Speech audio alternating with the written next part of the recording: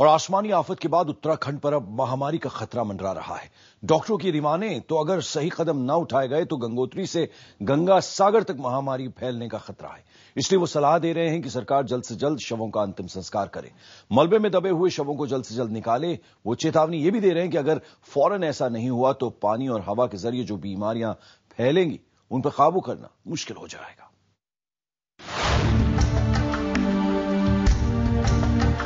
केदारनाथ में Ivan seven ने जो देखा, वो बेहद खौफनाक था।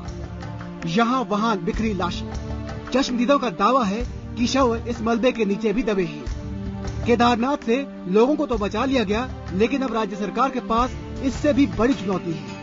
अगर जल्द ही शवों का अंतिम संस्कार नहीं हुआ तो अब खतरा महामारी का है। सेना के हेलीकॉप्टर शवों के अंतिम संस्कार के लिए बड़ी मात्रा में ज़रूरी सामान केदारनाथ तक पहुँचा रहे हैं। सरकार ने ऐलान भी किया था कि वो मंगलवार से अंतिम संस्कार शुरू कर देगी। इस काम की ज़िम्मेदारी देहरादून जिला प्रशासन को दे दी गई है। लेकिन बारिश की वजह से अभी तक ऐसा नहीं हो पाया है। हमको आदेश मिला है कि अभी अंतिम संस्कार हेतु कुछ सामग्री वहाँ पर भेजना है। उसके लिए पुलिस टीम भी गई है। और यहाँ पर हमने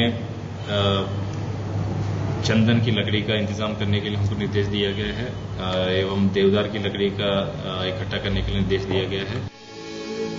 लेकिन जितनी देरी होगी, उतना खतरा बढ़ता जाएगा। आईबिन सेवन ने उन डॉक्टरों से बात की, जो आपदा के अगले दिन केदारनाथ घाटी गए थे। डॉक्टरों ने वहाँ खुले में घायलों का ऑपरेशन किया था। उन्होंने वहाँ गिद्ध मंडराते देखे थे।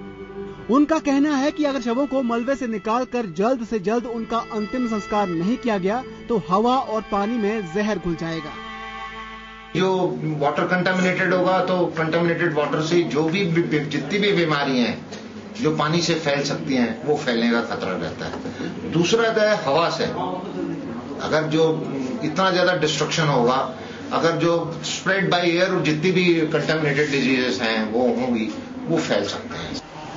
चश्मदीदों के मुताबिक केदारनाथ से सैकड़ों की संख्या में लाशें बहकर गंगा में गई हैं। राज्य के आपदा मंत्री खुद मान रहे हैं कि जो लाशें बही हैं, उनकी संख्या बहुत बड़ी हो सकती है। इनमें इंसानों की ही नहीं, बल्कि जानवरों के शव भी हैं।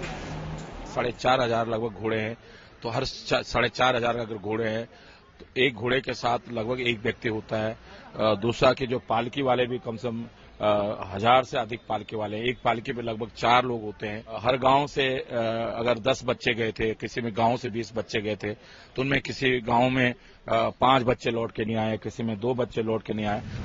यानी आपदा और बड़ी हो सकती है। आसमान से बरसी आफत के बाद अब महामारी का खतरा उत्तराखंड पर मंडरा रहा है।